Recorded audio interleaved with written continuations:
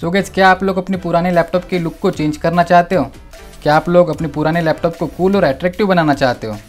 तो गाइज़ ये वीडियो आप ही के लिए है। क्योंकि इस वीडियो में हम एक लैपटॉप स्किन की अनबॉक्सिंग देखने वाले हैं और उसी लैपटॉप स्किन को मैं अपने पुराने लैपटॉप के ऊपर अप्लाई भी करके दिखाऊँगा।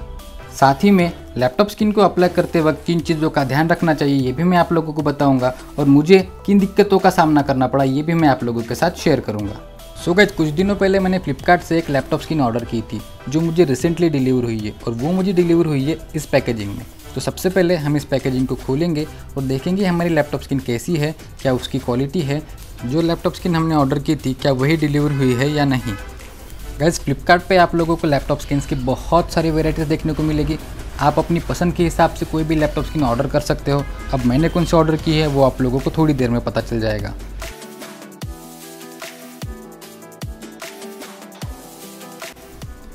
सो गई कुछ इस तरह की लैपटॉप स्किन मैंने ऑर्डर की है। ये डेडपुल है, जो कि हॉलीवुड की एक साइंस फिक्शन मूवी का कैरेक्टर है। वैसे पर्सनली मुझे डेडपुल पसंद नहीं है बट ये लैपटॉप स्किन मुझे बहुत ज़्यादा अट्रैक्टिव लगी। सो so गाइज़ ये एक HD printed full panel laptop skin sticker है, जो कि विंडल मटेरियल से बना हुआ है और 15.6 इंचेस के लैपटॉप्स के लिए सूटेबल है। और इसकी जो थीम है, वो सुपर हीरोज़ की है। सो so गैज इन लैपटॉप स्किन्स की ये खास बात है कि ये बबल फ्री है, इनकी साइज़ बहुत ज़्यादा एक्यूरेट है, आप लोगों को थोड़ी सी भी कटिंग करने की ज़रूरत नहीं है और ये बहुत ज़्यादा अडेसिव भी है। एक चीज़ मैं आप लोगों को और बता दूँ कि ये लैपटॉप स्किन बिल्कुल भी रीयूजेबल नहीं है।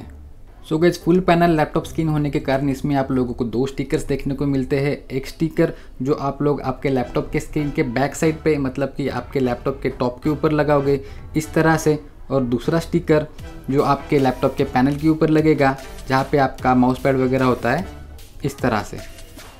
सो गैस अभी तक हमने इस लैपटॉप स्क्रीन के बारे में सारी इन्फॉर्मेशन देख ली है। अब हम देखेंगे कि इस लैपटॉप स्क्रीन को कैसे अप्लाई करते हैं। सो गैस सबसे पहले आप लोगों को अपना लैपटॉप लेना है और उसके टॉप को अच्छी तरह से क्लीन कर लेना है। थोड़ी सी भी डस्ट या डर्ट पार्टिकल नहीं रहना चाहिए। अगर डर्ट पार्टिकल्स रहते हैं तो बबल्स पकड़ने के चांसेस बढ़ जाते हैं। उसके बाद हमें इस चीज़ का ध्यान रखना है कि हम लैपटॉप स्क्रीन को सीधा लगा रहे हैं या उल्टा।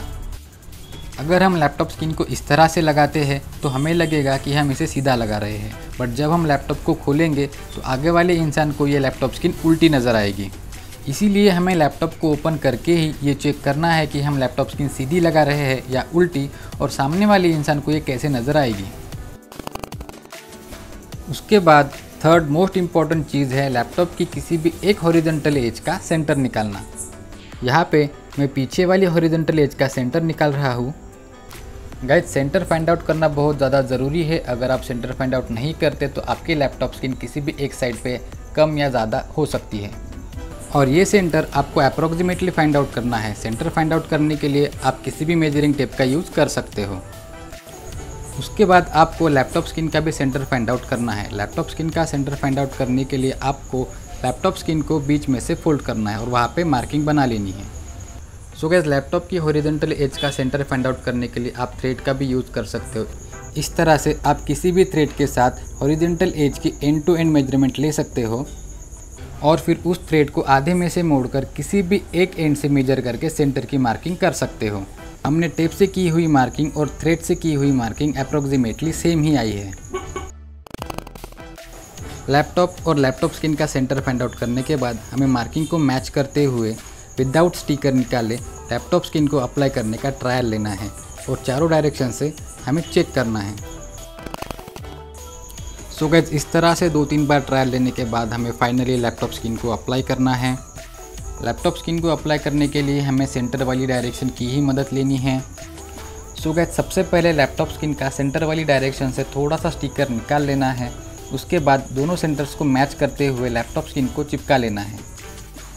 लैपटॉप और लैपटॉप स्क्रीन की एक डायरेक्शन फिक्स होने के बाद हमें धीरे धीरे स्टिकर निकालना है और धीरे धीरे लैपटॉप स्क्रीन को चिपकाते हुए जाना है।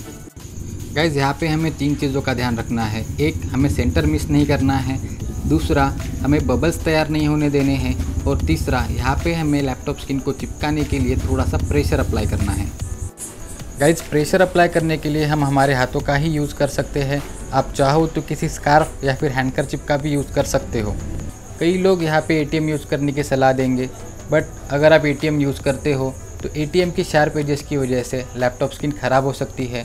तो बेटर यही होगा कि आप किसी सॉफ्ट चीज़ का यूज़ करें। गाइज़ इसी तरह से लैपटॉप स्क्रीन को चिपका लेना है और प्रेशराइज करके अच्छे से फिक्स कर लेना है। ऊपर का पोर्शन अच्छी तरह से फिक्स होने के बाद अब हमें एजेस पे ध्यान देना है। यहाँ पे हमें कॉर्नर्स को इग्नोर करते हुए एजेस को भी अच्छी तरह से फिक्स कर लेना है। टॉप और एजेस को अच्छी तरह से फिक्स करने के बाद अब हमें कॉर्नर्स पे ध्यान देना है। कॉर्नर्स पे हमें बहुत सावधानी से काम करना है, क्योंकि यहाँ पे बबल्स के चांसेस ज़्यादा होते हैं। इसीलिए हमें अपने प्रेजेंस ऑफ़ माइंड का यूज़ करके इसको एक अच्छी फिनिशिंग दे देनी है। सो so गाइज़ कुछ इस तरह से हमने मेन स्टिकर को अपने लैपटॉप के ऊपर चिपका लिया है। अब हमें सेकंड स्टिकर को चिपकाना है, जो कि यहाँ लगेगा। बट गाइज़ यहाँ पे एक छोटी सी प्रॉब्लम है, क्योंकि मेरे लैपटॉप का जो टच पैड है, वो एग्जैक्ट सेंटर में नहीं है, वो थोड़ा सा लेफ़्ट साइड की ओर डायरेक्टेड है। अगर मैं इस स्टिकर को एज इट इज़ चिपकाता हूँ और टच पैड के पोर्शन को कट कर लेता हूँ तो मेरे लेफ़्ट साइड का डेडपुल का सिंबल कट हो जाएगा। इसीलिए मैं इस स्टिकर को बीच में से कट करके दोनों सिंबल्स को सिमिलरली एक लीनियर वे में चिपकाने की कोशिश करूँगा। और जो एक्स्ट्रा पोर्शन बचेगा, उसको कट कर लूँगा।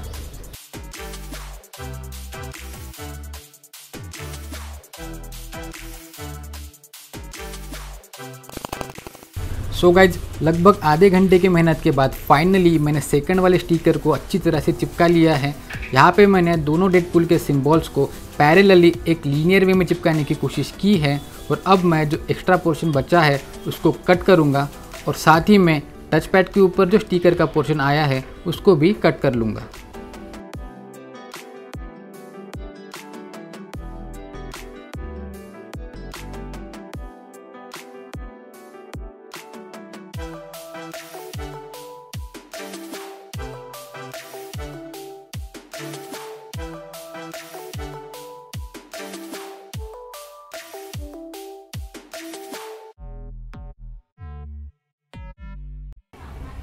गाइज़ सारे एक्स्ट्रा पोर्शंस को कटआउट करने के बाद हमारा सामने वाला पैनल कुछ इस तरह से दिखाई दे रहा है। सो so गाइज़ कुछ इस तरह से हमने लैपटॉप स्क्रीन को हमारे पुराने लैपटॉप के ऊपर सक्सेसफुली अप्लाई कर लिया है और अब हम देखेंगे फाइनल रिजल्ट्स